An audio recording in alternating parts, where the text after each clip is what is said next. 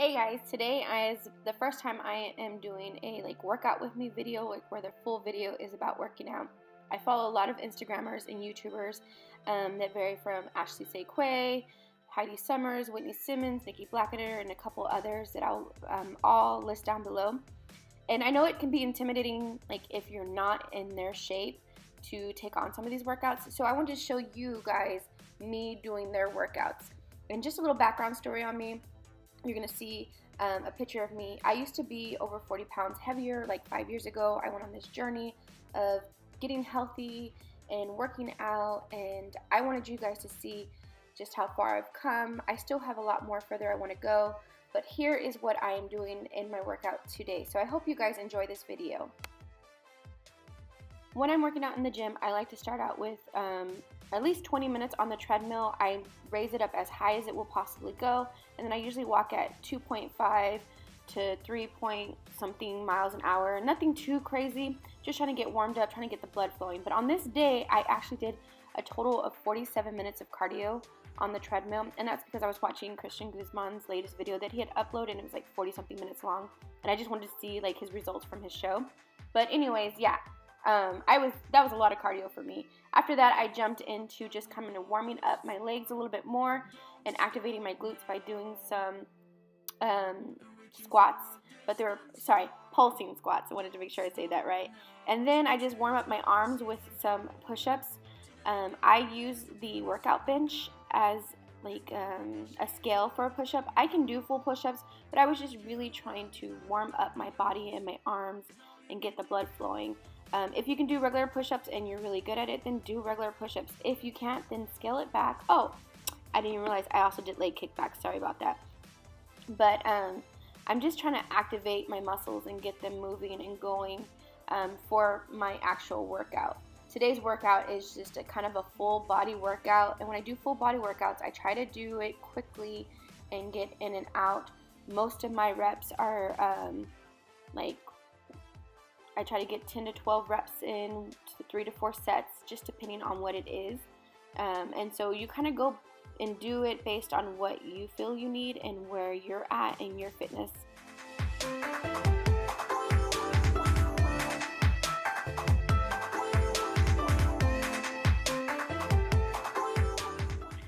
Try to add a little bit of stretching um, before I start doing certain workouts. I just want to make sure that I don't hurt myself. It's really quick, it's nothing crazy. It's like literally two minutes of stretching. I do more stretching at the end, but my first movement is a thruster, and I really like thrusters because they work out not only your lower body but your upper body. It's just like a full body like workout, and it's one of my go-to moves if I'm short on time and want to have the biggest bang for my buck. Um, I'm doing tens in this video, I've done 20 to 25s, but I'm trying to really concentrate on lowering the weight and doing more reps and moving faster.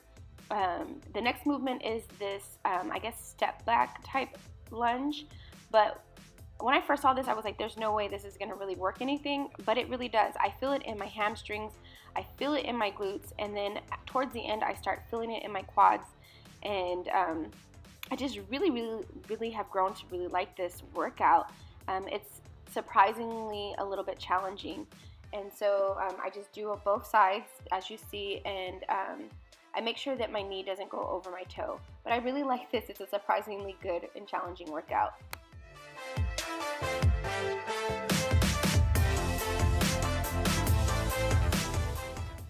When I'm doing lower body workouts, I like to switch out like in between, like maybe do two lower bodies and then two upper bodies.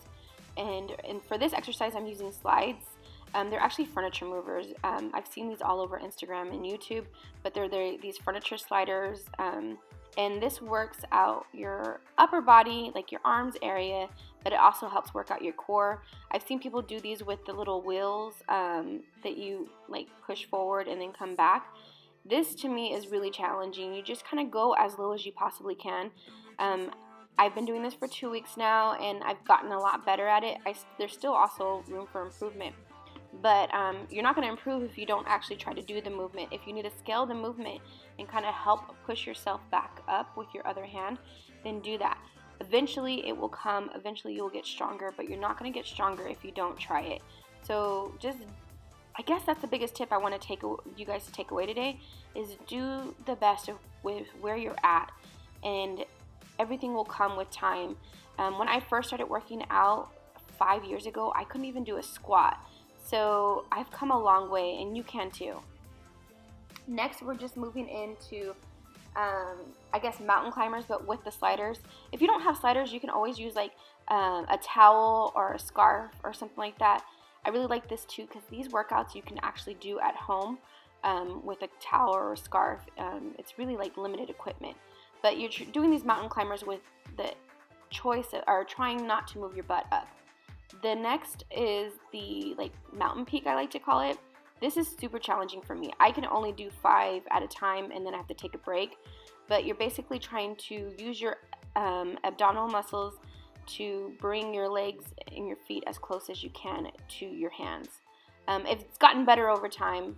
From there, I move on to um, these like lunges, um, these sliding lunges, and um, you're basically just lunging back, trying to make sure your knee doesn't go past your toe, and you're pushing your other leg back. And this is actually a really good workout too. It's definitely different than doing just a basic lunge.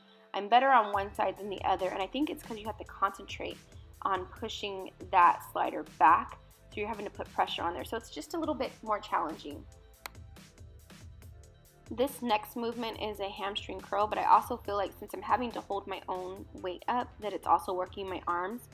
Um, so I've seen where people push both their legs out at the same time and then bring them both in at the same time. I have to do one at a time pushing out, but bring them both in at the same time.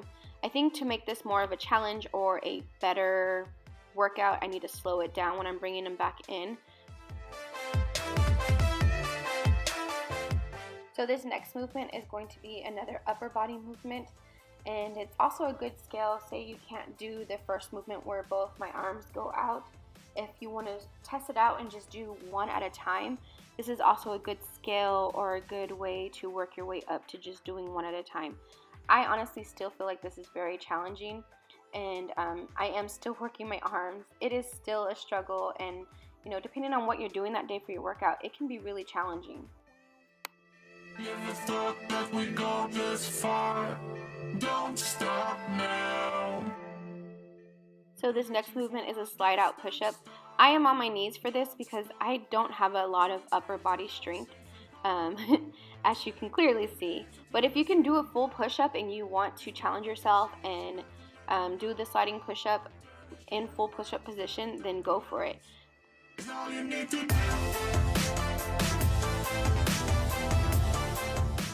I then like to wrap everything up with a really good stretch because at this point all my muscles are really warm. They're wanting to be more flexible and stuff and so this is the time where I really work on my stretching. I feel like stretching has just done so much for me. I've been practicing yoga and getting more flexible, and it's just a way for me to relax relax my mind. It's just it slows things down. I usually use Sundays as a full body day, and then I really take my time stretching and relaxing and meditating and and doing yoga practices.